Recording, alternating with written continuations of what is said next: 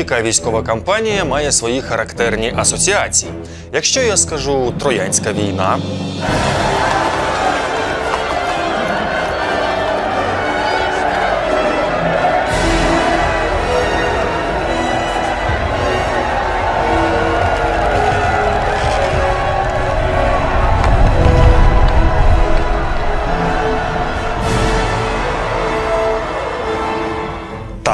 на думку одразу спаде підступ троянців з конем. Або, наприклад, Друга світова війна. Ein Diktat als Diktat uns aufoktroyieren. Словом, рідко яка війна обходиться без яскравого символу. Подекуди вони створюються самі, але зазвичай їх штучно створюють як елемент пропаганди. Не виключенням стала і нинішня російсько-українська війна, а до словничка так званої спецоперації додався ще й фірмовий стиль.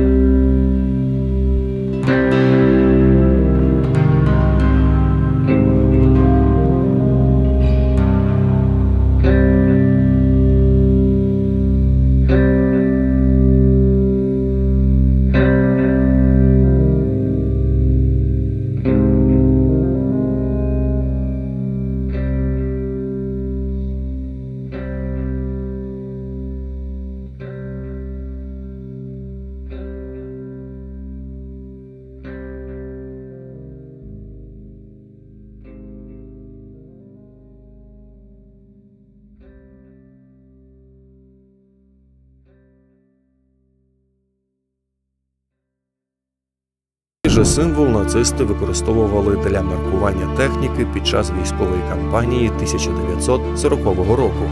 Невже всі ці співпадіння у символіці нацистів і рашистів просто збіг? Хлопки, задимлення та невдале приземлення російської авіації на українську зброю. Звідки взялася ця російська новомова та які її особливості? Й на жаль, спецоперація не випадкова назва. Десятиліттями сформований пропагандою культ війни закріплює за самим поняттям війни ряд асоціацій, які Мордор хоче залишити приналежними саме Великій Отечественної. Натомість термін спеціальна військова операція має асоціюватися з професіоналізмом, позбавленим емоцій. 気持。Кремль кохається в радянському минулому, тому ще й хоче викликати в пам'яті старшого покоління спогади про спецпайки, спецдачі, спецфонди та спецзабезпечення. Офіційно оголошена причина повномасштабного вторгнення покликана отримати підтримку старшого покоління жителів РФ, які мали би згадати наслідки Другої світової війни для нацистської Німеччини. Усі ці вісім років Ерефія морочила голову і називала війну проти України ситуацією. Станом, конфліктом, напругою за тоталітарним законом про фейки за вживання слова війна може загрожувати до 15 років колонії. Тому більшість населення взагалі дедалі частіше користується абревіатурою СВО, яка ще менше зачіпає їхні тонкі душевні струни. Бо ж більшість росіян не вважають, що нині триває війна, і не готові визнати, що їхня Росія це агресор і держава-терорист. І це ще одне з завдань рашистської новомови створити ілюзію, що вторгнення російських окупантів на наші землі взагалі не стосується пересічного росіянина. Єдиний контекст, в якому може вживатися слово війна, це економічна війна Заходу проти Росії. Один з перших випадків теракт в житловому будинку в Магнітогорську у 2018 році, який влада вперто називала хлопком, нібито щоб не викликати паніки. Тоді від хлопка схлюпнулись 39 росіян. Ця брехня називає чорне-білим, а тимчасову окупацію українських територій освобожденням. Папкіни освободітелі й денацифікатори називають нищівну повінь підтопленням, пожежу з жертвами, задимленням, авіакатастрофу чи підбиту техніку. Жорсткою посадкою, цензурою контроль змі захистом дітей, а провал економіки і невпинне наближення до дефолту, звісно ж, розвитком із негативною динамікою. Тепер додається ще й негативне вознесіння. Інакше смачне падіння тупого важкого предмету в руском міру, відомого як Кіріл, і не назвеш.